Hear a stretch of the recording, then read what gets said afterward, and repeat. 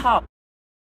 I do not know who this is for right now, but do not take it personal because it's spiritual. See, it's not that they don't like you, but they just dealing with different demons and unclean spirits that's in them that's trying to come against the Holy Spirit that dwells inside of you. See, as you grow spiritually, you will understand that them same spirits that they battling with also be coming against them too. See what I'm saying? Demons that they're battling with be tormenting them in their mind, telling them that you don't like them, telling them lies that you hate on them, telling them that you're trying to attack them. Meanwhile, you're not thinking about them. Meanwhile, you really don't talk about them or wish bad on them. See, you really got people that live in their heads and be at war in their mind. You see, as they being led by the enemy to come against you, you always got to be led by the Spirit of God to pray for them and come against that spirit that's in them. You see, Satan will have them so confused in their minds and have them to create an division between you and them. He will have them to hate you when you do nothing but show love to them. He will have them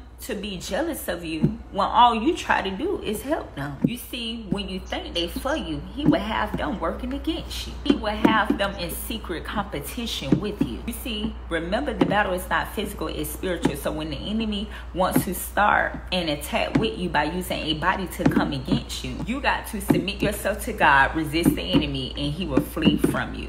I do not know who this is for right now, but do not